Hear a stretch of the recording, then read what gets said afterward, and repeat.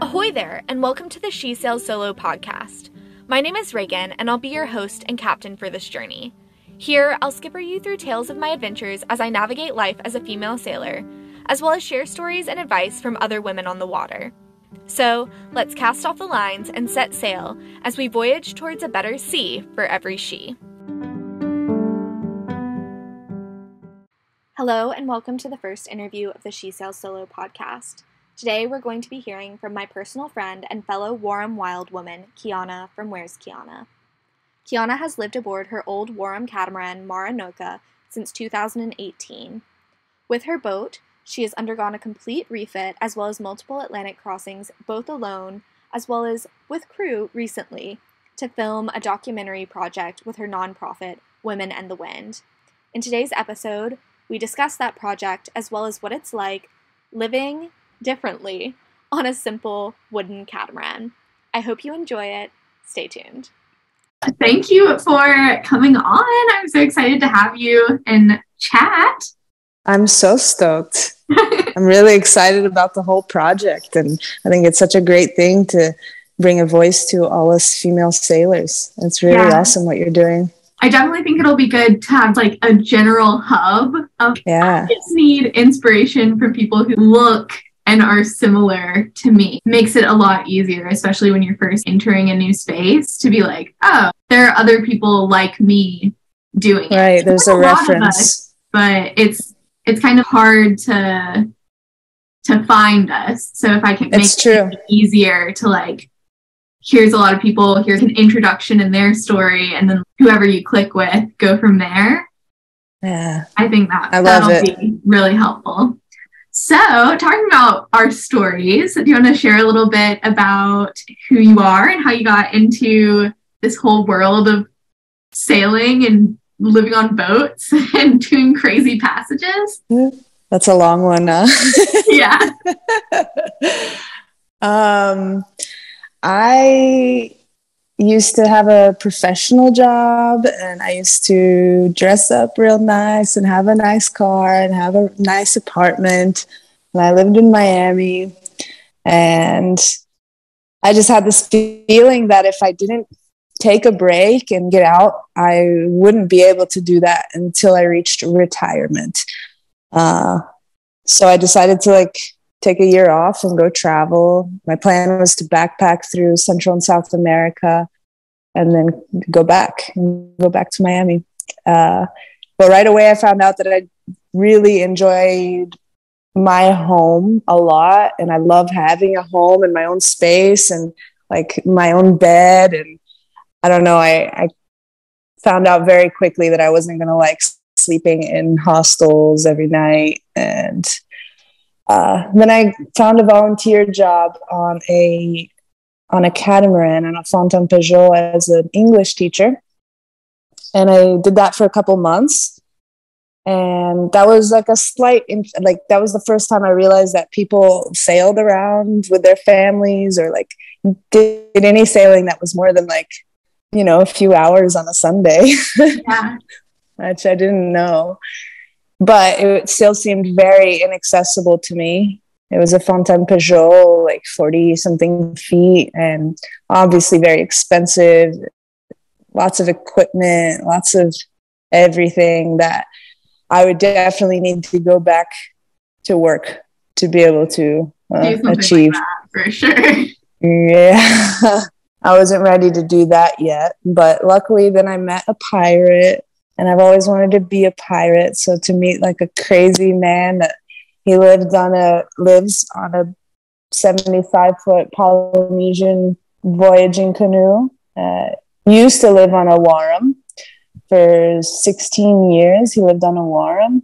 And uh, so I learned about Wharrams and simple sailing and catamarans and wooden boats and lashing and as structure all from him. I just always knew that, like, ever since I started living on boats, I knew that I wanted my own boat. And I wanted to recreate that home that I used to have in Miami, my own space. And oh, it's just so good. For anyone um, that's listening doesn't know, Kiana and I are on basic pretty much very, very, very similar boats. They're both Narai, Yeah. uh, Wharram Narai catamarans, but um, very different, very different souls on both of our boats. So Totally. Yours Yeah. is way more spacious. I, I feel like inside it is, but your, I mean, nothing compares your deck. Your deck is just like Flat. huge, insane. Thanks. When you like cartwheels across it. Big deck energy. Yeah. You know. we met when you were in the a boatyard in St. Augustine and you were doing a complete refit of your boat. Yeah. And like you were just saying, when you first got into it, you weren't very familiar with it. It was just something that you're interested in and drawn to. So obviously sailing, learning how to sail is one aspect of this whole lifestyle, but learning how to actually like care for and repair a boat is another. What would you say some of your biggest challenges as well as like advice would be when it comes to learning all of these skill sets that are really important, especially when handling a boat by yourself? Yeah, absolutely. Oof, hard. It's, uh, I feel very uncomfortable giving advice just because I don't know. I don't know. Maybe what I'm doing with my, my life is not that smart and other people should. I get comments all the time on my videos on my refit, and they're like, "You should show more of the process of what you're doing, so other people." I'm like, "No, absolutely um, yeah, lots of trial and error. And I was really lucky, like, like when I started and I was learning how to sail on the boat on Mara Noka, I, I was very naive. I didn't know anything. I didn't know anything about struck boat structure. I didn't know that boats weren't supposed to like leak as much as mine was. And I just thought it was normal. I don't know. But what really helped me when it came to then the renovation was that I had already sailed the boat some. Most people would have not sailed the boat in the condition that it was in. It was quite uh, unsafe, very, very wet. Uh, but I did. And and so when I did take it out of the water, I knew the potential of the boat. I knew that whatever I did to it would only make it better because it was sailing and it and it likes sailing.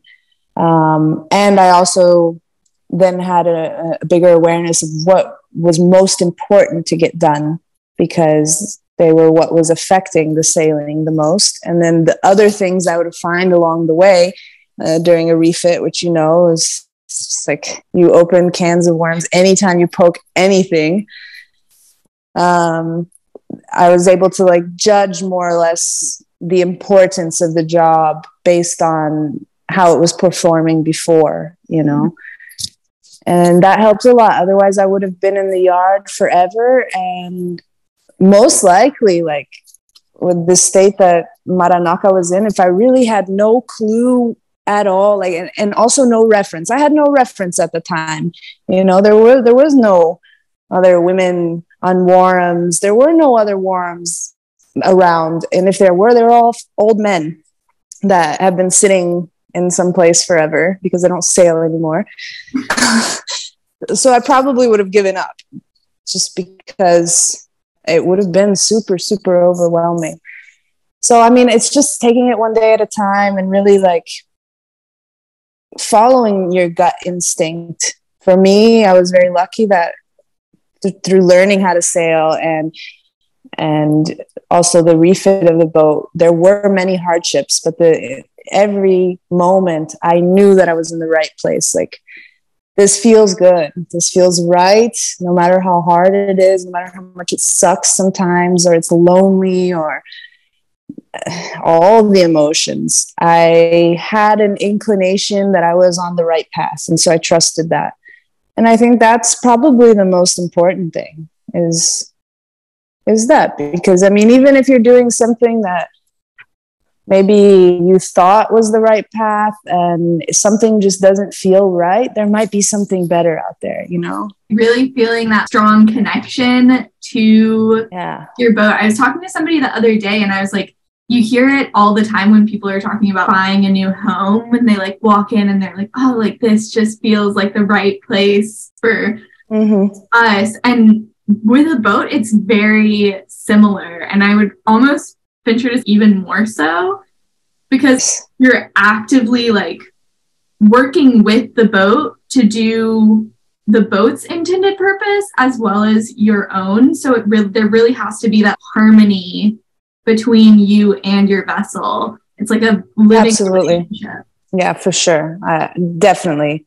And and that's the thing. Yeah, the boat talks to you, and, and there's something about our boats, uh, or or old boats in general, boats that have already lived lives before us. You know, there's something about that that's just really, really magical and really powerful. And the way that the boats talk to you, and uh, I don't know, I love it. from the yard you left and you started your Women and the Wind documentary project and that was your first time being on the boat with other people yeah. do you want to talk a little bit about how that was and like the difference between being by yourself for extended periods of time versus having a group of ladies and and what Women and the Wind is and like that whole project well the the solo sailing versus not thing for me personally i mean i started sailing by myself because i didn't know how to sail and so in my mind if i had taken anybody along best friend or not that knew less than me it would have been very scary just because i didn't know anything and now i'm responsible for somebody else and if I'd taken somebody that knew more than me, which most likely would have been a man, then they become the captain. And what am I doing on my boat? I don't know. It was a strange feeling. So I started sailing alone and then I kept sailing alone for two years before I took the boat out of the water. And I really got used to it. I mean, I've always been the kind of person that doesn't like being watched if I'm learning something you know i don't know Yeah. i'm, I'm You just wanna, quite like, figure it out by insecure in that way like judgment free. yeah exactly and so especially then in the beginning like making mistakes i really wanted to be alone and make those mistakes by myself so my process of like sailing and things that i do when i'm alone are very different than what you do around other people like i don't know i i, I talk a lot to the boat and it's not that I can't talk to the boat with people around. It just gets a little bit weird. there were multiple times in the yard where you would just be like, "You're so beautiful," and people would turn around and be like, "Who are you talking to?" And you're like, "The boat, the boat. I talked to the boat." and like asking it what it needs and like i don't know there's i might look like a crazy person and you know you don't want your captain to be too crazy when you're going out to sea with them and um i mean just like being able to do what like whatever i want whenever i want. Stay in bed all day or not or uh, yeah anything. Because with people there there is a social aspect that happens every day. Like you do wake up and when you see the person you say good morning. And some mornings i don't want to say good morning yet. I want to wait like three more hours. Hold on and so it's just a totally different rhythm. And for me it was pretty difficult just because i wasn't used to it at all. And and it took took getting used to towards the end it got a little bit better. Like I, I got into the flow of the, th- of the thing. And it was really nice that what I enjoyed the most about sailing with people was mealtime. At every mealtime we would gather, whether we'd talk to each other that day or not, because sometimes, you know, and and at least we would come together like a couple times a day and sit there and enjoy a meal a meal together, which is always super powerful, I think, in like a community setting. Yeah, a lot to get used to.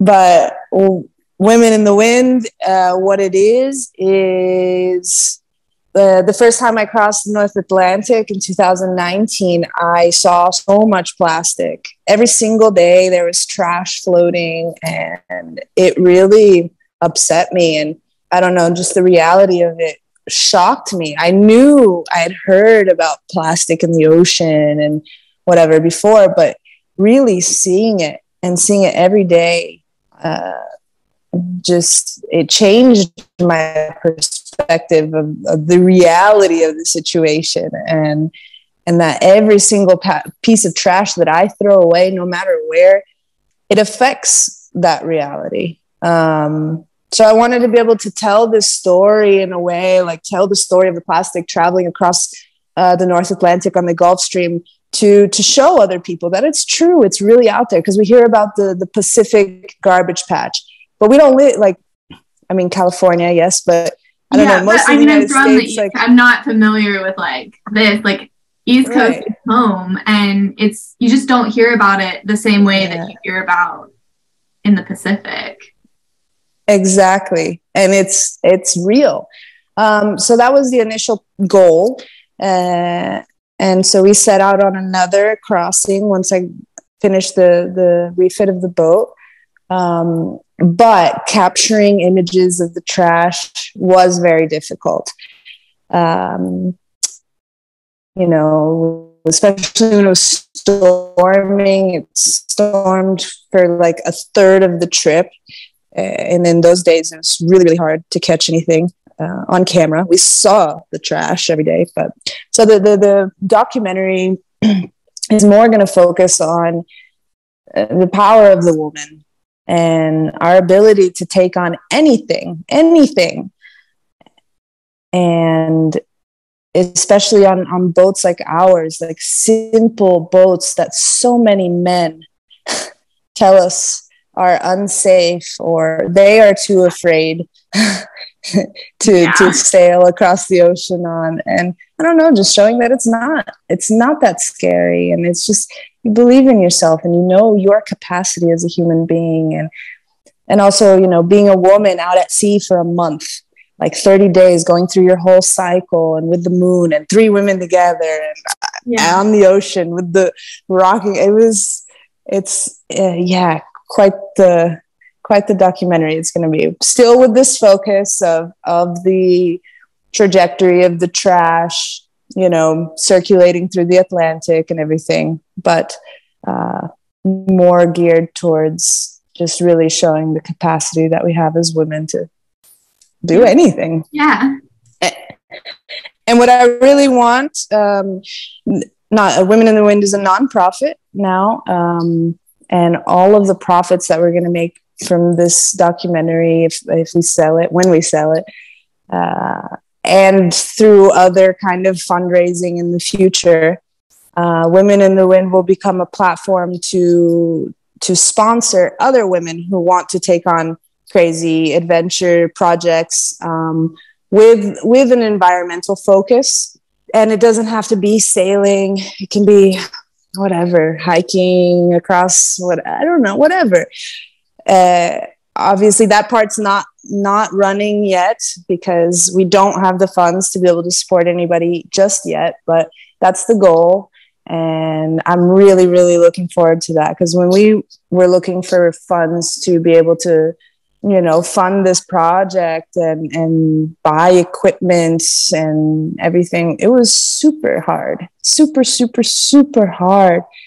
Uh, and we weren't able to raise enough so i really want to build this platform to be able to support women so they can focus more on their project and how it's going to happen instead of chasing after money which is such a horrible stupid thing so. I talk about it all the time like be, even beyond literally cutting holes in my hull while it's still in the water and like trying to repair them and having all of the stresses that come with a project like this.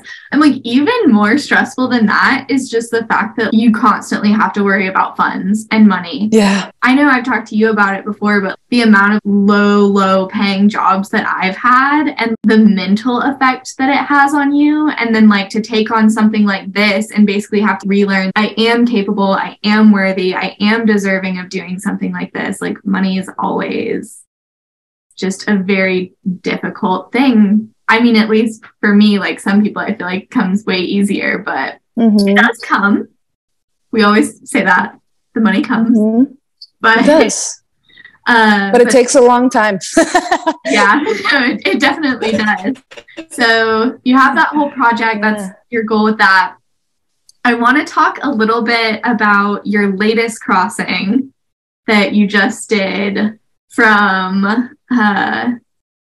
I went from the Cape Verdes, from Santiago in, in the Cape Verdes, all the way to Ilhabela in Brazil, direct.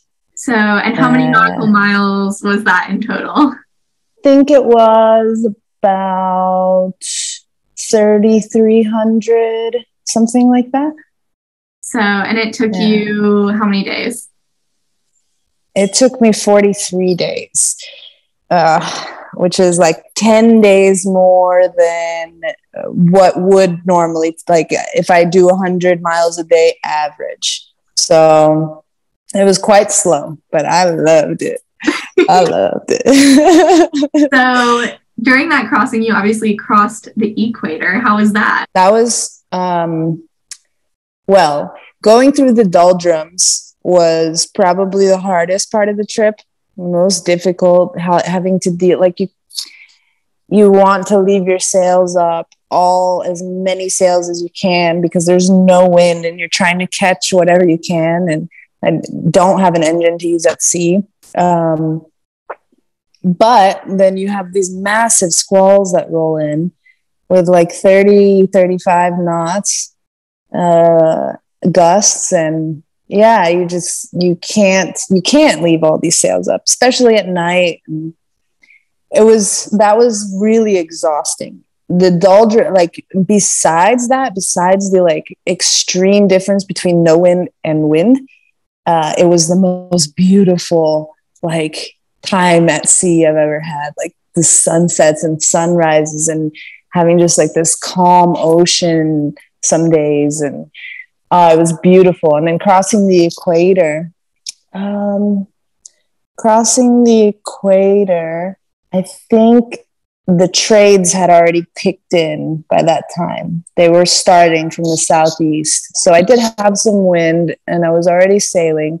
And it was funny because right at the equator, it was like a party. There were so many birds and fish and just so much life in the ocean all around me, like thousands of birds right at the equator. It was so cool. It was so cool. It just felt like a, like a rite of passage and like a, I don't know, welcoming from the ocean. For a lot of sailors, that is a big thing to cross the equator. I mean, that's yeah, like a, I mean, I'm basically like it's not imaginary, but it's like the, our dividing point on Earth between the two hemispheres. So yeah, really, really cool.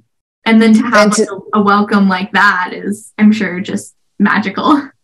So cool. It was so cool. And then to just realize like later that day, I was like, I'm in the South Atlantic now. What? what do you mean? It was so weird because I've never, I never thought I would be in the South Atlantic with my boat. Even, even like after I already started making plans to go to Brazil two years ago, I was like, yeah, whatever. My light plans, sure, sure, whatever.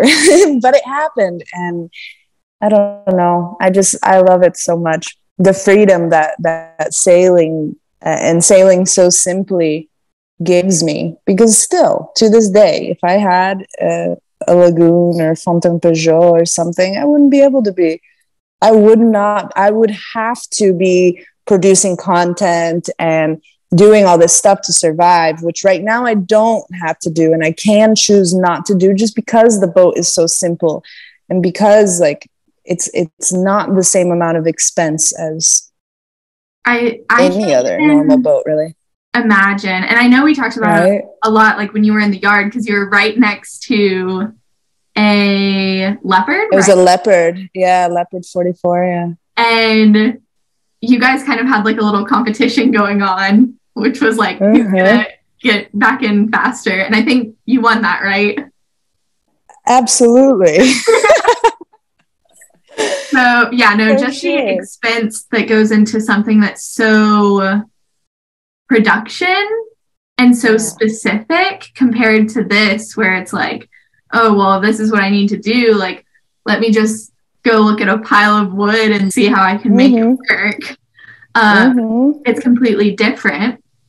I want to circle back a little to the simplicity because one of the questions that I had a lot of people ask uh, on Instagram when I said that we were going to do this little chat is that your boat is very simple. So, what do you do for safety? Oh, we know that you've had uh, a track record of things breaking on passage. So, yeah, like preparing for that, and then yeah, just like safety. I know somebody asked if you had a life raft or like anything. I I have a life raft now, just because of the the trip with the girls. I mean, that was another thing like touching back on the subject of the difference you know what really was difficult for me sailing with other people was uh, being responsible for their lives. That shit's scary. Oh my god. And uh, so i did have a, a, life raft. I still have it. It's very heavy and i really want to get rid of it. Which i might. Um, so there's a beauty about a wooden boat, especially a wooden catamaran, that it doesn't really sink. Uh, you can fill it with water and it's still going to float, which is cool. And if one side fills with water, the other side's still floating. And Wharrams have watertight bulkheads, so uh, fore and aft is, is sealed from the center of the boat. Mm-hmm. Um, all the bilges are separate, even though if they do fill up quickly, they would overflow into each other. Um, if it's a small leak or something, they're they're totally separate from each other. There's 24 bilge compartments in the boat. I don't have any bilge pumps, so I have to pump them manually. But just those things in the design of the boat make it so safe. And Wharrams are famous for not capsizing, um, which is a danger in multi hulls. But the design, the, sh- the sharp V, the the width between the hulls, and uh, that they're wow. not so low. Yeah, they have a lot of of space, uh, freeboard, right, yeah. between the water and the deck. Um, low aspect ratio for the mast for the rigging, especially now with the the rig that I have. All of these things are they make the boat so safe and then the, the cabin tops are on the sides. I'm only really in the center of the boat. I do go to the aft to like fix the steering and stuff, but I'm never walking on the side, which most boats, catamarans, monohulls, you have to go around the cabin. A little narrow. I hate that. I think that's super dangerous. Yeah. I think that's very, very dangerous. Um, so there are just so many, so many things that make uh, a Wharram really safe and, and mine as well. And then what was the other part of the safety question? Uh, things breaking. Yeah, things breaking. things break. Um, and I've learned that you should just take two of everything. and this time, well, in the Azores, I changed my boom because when we left Florida, we had a really heavy maple tree that we cut down to use as a boom, and it was very heavy. I loved it because it looked so cool, but it just wasn't efficient. So in the Azores, I got um, a new boom out of Japanese cedar, which is very, very light. And there was another trunk uh, tree rather laying there already kind of cured and nobody was using it. So i took it as an extra. And that i tied under the boat between the hulls and along the beams. I tied them along on the beams. And it was just in case. And mostly it's in my mind it's like in case i lose my mast i need to be prepared to jury rig because i've lost my mast before and and then I continued to sail another 2,000 miles across the Atlantic on a jury rig. So it's possible. And there's no way in hell that I'm abandoning my boat if it's floating and everything's fine. There's no way. That's my home. uh, yeah, no, I'm I'm absolutely prepared to like float across the ocean for four months if I have to. But so I don't have to, I take extra, extra trees. and this on this trip now in the doldrums, so still at the beginning of the trip, um, I had a really heavy squall that that popped my boom. And it really it broke because it was freshly cut. Like I it got cut and the same day it was shaped and already put on the boat. So it wasn't cured, it wasn't strong. Uh, and it probably blew like 40 knots out of nowhere and and broke the boom. Um, but luckily, I had an extra under the boat waiting for me. It took a couple days to be able to get in the water, put the dinghy in the water, and get the boat, I mean, the boom untied and back on deck because it was rough. But I mean, if I hadn't had that, it would have taken me much longer to arrive. I might have not even been able to continue the trip. I might have actually changed my course and gone to the Caribbean just because downwind would have been easier and I was super far away from my destination. So, but uh, extras, extras, extras, all the rope in the world. Take as much good rope as you can, especially if you can find like Dyneema straps or whatever. Take that shit and sticks. yeah, the amount of times people have been like, "You gonna get rid of that rope?" I'm like, "No, it's no. Absolutely. Absolutely. Um, I remember in the yard, I took out all my ropes to dry one day, and, and the owner of the leopard was there, and he's like, What do you have all that rope for? He's like, To survive at sea. What yeah. do you mean? one piece of advice for somebody that's just starting their journey. Oh, one, only one. Believe in yourself. Don't listen to other people. I mean, obviously there there are great people to listen to, and there's wonderful advice and conversations to be had, and and it does produce growth. But if if you have that feeling that we were talking about that you are on the right path, trust that more than what other people think, especially for something as crazy as like buying a boat or restoring a boat or especially a fucking wooden catamaran. So I mean, really being selective at, at listening to people's more negative uh, views on what you might be doing because most of the time it's just their own projection and their own fear. Just trust yourself and keep going every day just a little bit, little bit, little bit. Like I cannot believe that I'm out of the boatyard, that I already sailed twice across the Atlantic. I cannot believe it. I thought it was never going to end. Up until the last day, I was still painting my boot stripe white. The like when they were coming with the lift to pick me up to put me in the water. So up until that moment, it wasn't real. Like I, I pinned my rudders on after they picked me up and they were waiting for me to like finish up and paint the the bottom where the the, the stands were. So there was no end. I never reached a point where i was like oh i'm done now. And then i got back into the water and still had work to do. So yeah man just keep going just keep going keep going. If it feels good keep going. And eventually god you're not even to be able to believe that what you went through is so far in the past already, you know? Yeah. No, I, I mean, mean like, you're in the middle of it right now. Yeah, like I have like a journal, which I wrote down interview questions in, but like, I have like pages of just literally bullets because you know, like that's what you did. I'm taking that because I, my mind has just been all over the place. And it's like, I finally was able to paint my galley. I bought paint for the interior of my boat the first day I got here, which was in July, and it's now mid January.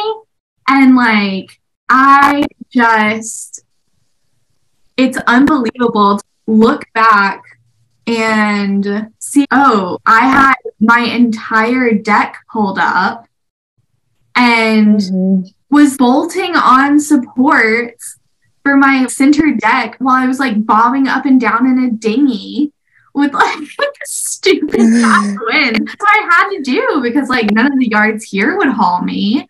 And yeah, it, it does like it goes by so quickly, but at the same time when you're in it, like there's so many days I'm like, I'm never gonna leave. So but hopefully it's soon. Hopefully soon. No i mean it happens eventually. Everything ends. That's one of the most important lessons i think i've learned from the ocean itself is that nothing lasts forever. Happiness sadness storms good weather uh, sunshine, rain, nothing lasts forever. And you being stuck in the boatyard, as long as you're working, is not going to last forever. And yeah. that's it. And you will get to the end. And and it's just so unbelievable. But yeah, no, when you're in it, it's very overwhelming. I had, I would call. I mean, I talked to you when you were there. Everybody, I'm like, this. I'm stuck forever. This is never gonna end. I don't, I don't know what I'm doing. Like, ah, yeah.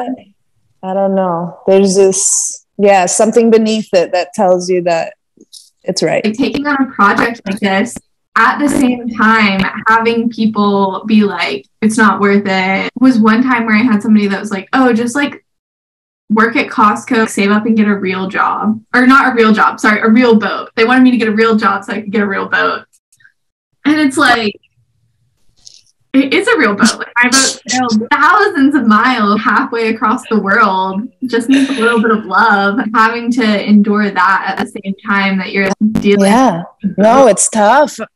I mean, having people come up to you and be like, why don't you fucking burn this thing? What is this? Like, are you stupid?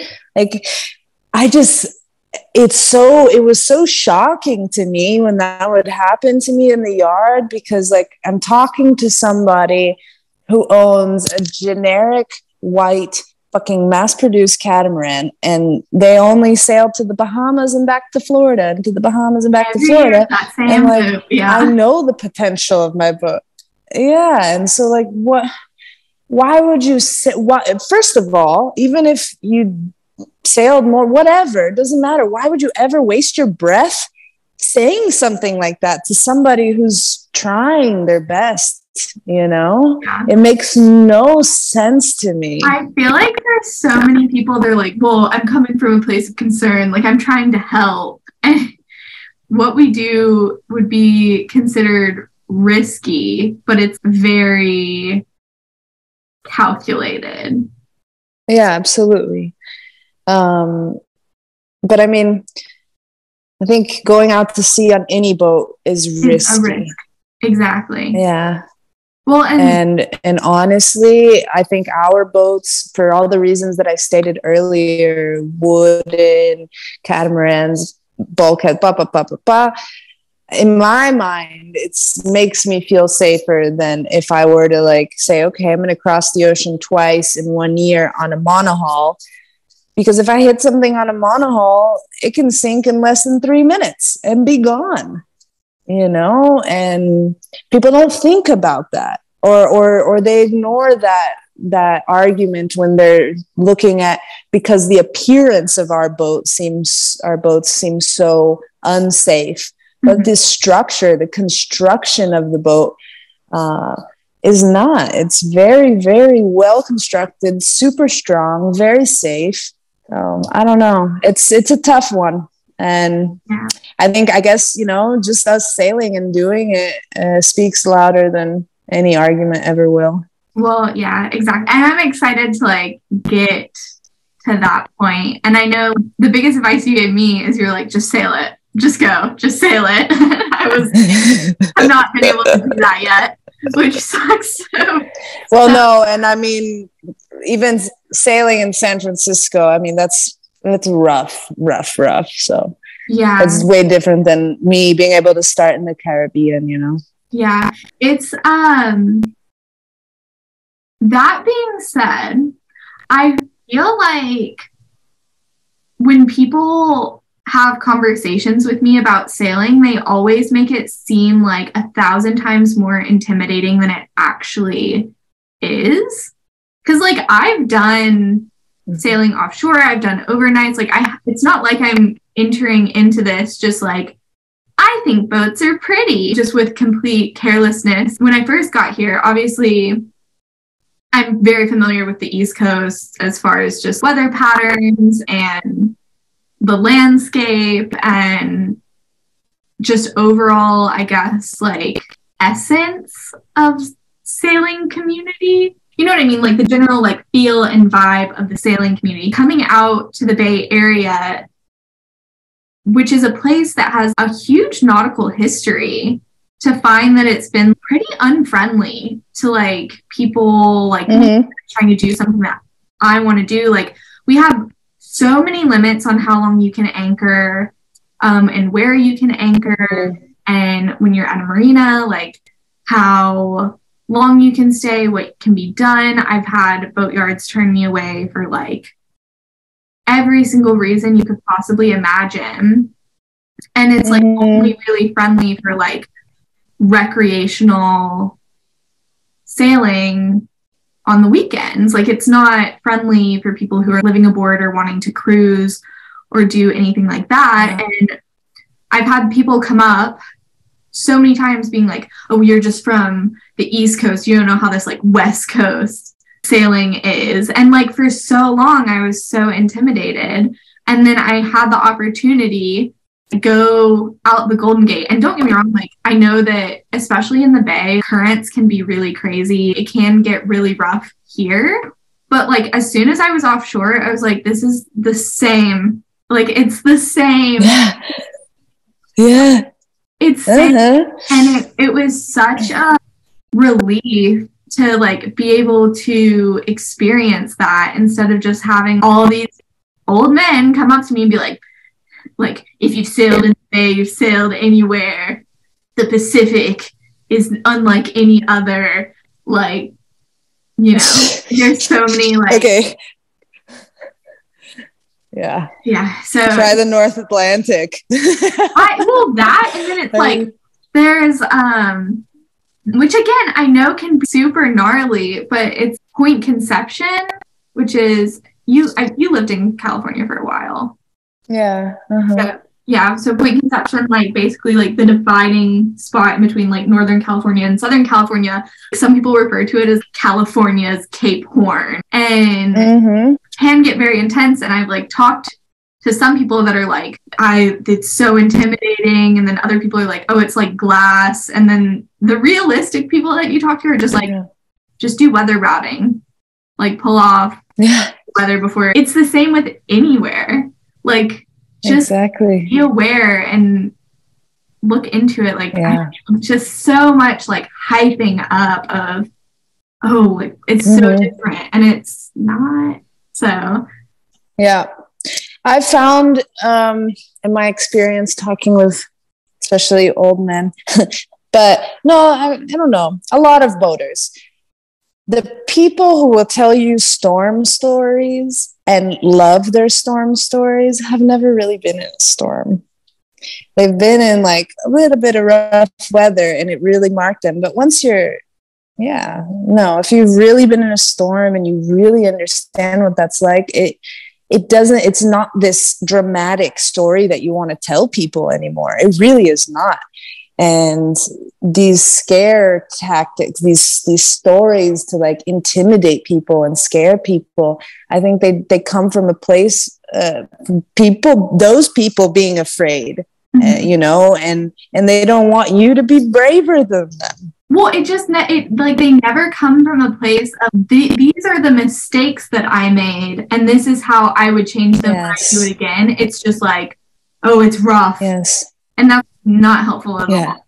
Right. It, it's not the ocean's fault. The ocean is it's not personal at all. It's your own reaction and and you know all of that. So yeah, when the blame is is placed on the the weather and the environment and oh it's rough, like well, what could you have done better, right? Like weather routing or or whatever it may be.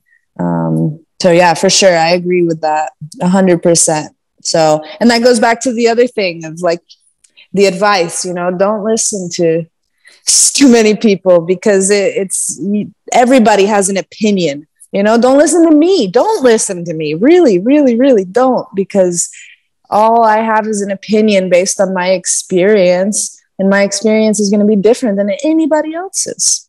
But one thing uh, i wanted to mention before i forget is like really even when it's hard, really enjoy where you are and what you're doing right now. Because once it's over, like those memories, that struggle of being in this boatyard, it being so expensive, it raining, storming, like you trying to f- learn how to uh, work with a, uh, an old boat and learn things that you've never done before. That, oh man, if I could go back to the boatyard now and do it again, I would. I would because it just like the the amount of growth and learning and everything that comes from that experience even though it's hard to see in the moment and it is frustrating in the moment afterwards it's invaluable. So whenever you can just remind yourself that like where you are right now you'll never forget it you know and so just absorb as much of it as you can because you're really going to want it in the future to be able to like close your eyes and be like, wow, like I can't believe I suffered that much. It was so good. yeah, there are days where I'm like, emotions and all that, like it comes in waves. There are days where I'm like, I'm. Yeah. I'm so proud of myself. And then there are days where I'm like, just get me south. Like it's yeah. freaking raining. Absolutely. Rain. Which this Absolutely, is not for California, dude. but the rain. Yeah, no, but it's crazy there right now. Yeah. And the rain and working on a boat, on a wooden boat, makes everything impossible. Mm-hmm. So, but you'll make it. I'm so stoked. I'm so proud of you. I'm so excited for Mara Noka to have a little twin so we can travel together. I know. I keep having, I told you the other day, but I keep having dreams of you being like, no, you have to like bring your boat across the continent. on land. we can buy Yeah, like I'm like, literally trailering, pulling it behind me across Brazil. Well, I mean, if you feel inclined. no, I, I, think I'll pass on that one because usually I'm also getting chased by balls and Oh man. I did have another question, um, and we talked about it a little bit. Self-steering, because um, obviously mm-hmm. you're not at the helm the whole time, uh, and what you do is not necessarily I mean, it is very traditional, but mm-hmm. when you tell people about it now, it's probably a little out there. Um, yeah. You do sheet to tiller. Right. And it, I mean, wow. My life was changed when I learned how to do that. The boat, Mara Noka does steer itself all the way to a broad reach without sheet tiller, but it's just not as um, what's the word I'm looking for? Uh, precise. Mm-hmm. Um, so with sheet to tiller, for example, this trip, 43 days, from the moment I lifted the anchor until the moment I grabbed the mooring ball in Brazil, I was at the helm for 25 minutes in 43 days from beginning to end, which is so cool. Like if I had to steer for 12 hours or 24 hours or whatever these horror stories that I hear, I would not be doing what I'm doing. Yeah. and the best part about it is like if something breaks, it's way easier to fix that than like have a whole electronic autopilot system. Absolutely. And I mean, so this on this trip, because I was, I had the sail, everything on the same side, basically the whole trip on the same tack. Um, the the line which is the same line that I've been using for the last four and a half years, uh, it started chafing. And so before it, it chafed all the way through, I just cut it and did a little sheet bend. It became a little bit shorter, but still the same thing. Uh, it's crazy. It's crazy. It's crazy because it's so efficient and there's really nothing that can break. I mean, the you have to take care of your tillers, your rudders, which should be fine. And yeah. then the pulleys, which sometimes they come untied or they pop or whatever, and just tie them back onto the stays or the shrouds. And the rope, super simple. And and the the precision of it. Like I I watch my track on Navionics sometimes and it, I find it to be more precise than autopilot. Not a wind vane, but like a an whatever the other ones are, like, like the hydraulic. Yeah. Yeah. Where are you planning on uh, going from here? I know you're in Brazil. Are you planning on staying there for a while? And then where can people find you to follow your adventures?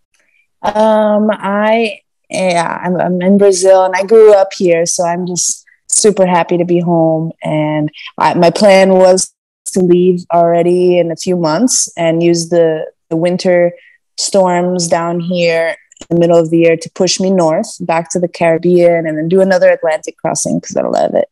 But um, I think I've changed my mind. I think I'll stick around Brazil for probably until winter Southern Hemisphere 2024 and yeah just enjoy the, it's so beautiful here. And like between where i am in ilhabela to rio de janeiro uh, all the area in between is green mountains islands jungle and sea. It's amazing. So i'm really excited. And then yeah i have instagram where's kiana? And i have where's kiana.com i'm going to be posting my journal um, for the this past Atlantic crossing to Brazil, um, like a log and journal and everything on the blog in the next couple weeks once I'm done posting everything on Patreon first. And then a very exciting thing to look out for is we are going to release the trailer for the documentary February 1st, uh, which is so exciting. and that'll be on Women and the Wind. And if people want to sign up for Patreon uh, for the Women and the Wind Patreon, it will be released there sooner, maybe even next week. Um, but then it should be out soon, very soon. Thank you so much for coming on and chatting. I love it. I love it. I'm so stoked for this project. I think it's absolutely amazing. And I definitely hope to get invited back on. You'll be like, I oh, love like, you. I'll be like, hey, this is like my tenth time. I haven't had somebody lined up. So if you just want to like chat, absolutely, anytime. so and it's it's so smooth too because like we're actually friends and we know each other, so it just yeah. is is nice and yeah. easy. But thank you. I'll, I'll be your fill-in anytime.